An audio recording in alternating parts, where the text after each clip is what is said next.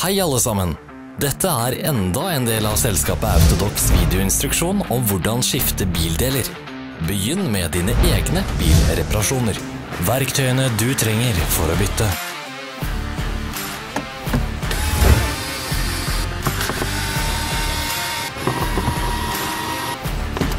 Ikke gå glipp av våre nye interessante videoer.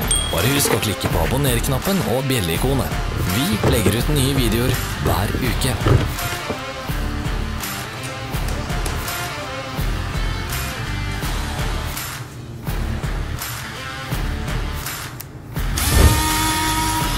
For mer informasjon, sjekk beskrivelsen under videoen.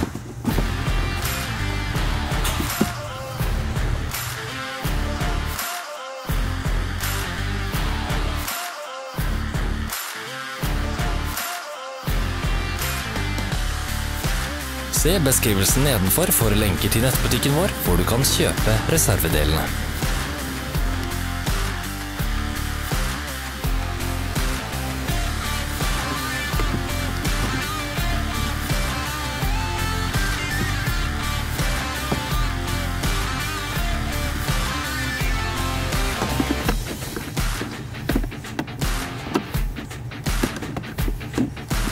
Hjelp oss å bli bedre.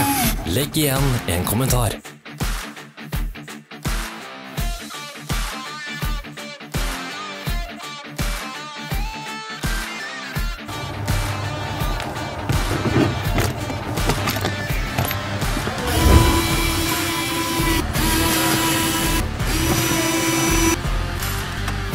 Takk for at du så på. Skriv i kommentarfeltet hvis videoen var nyttig.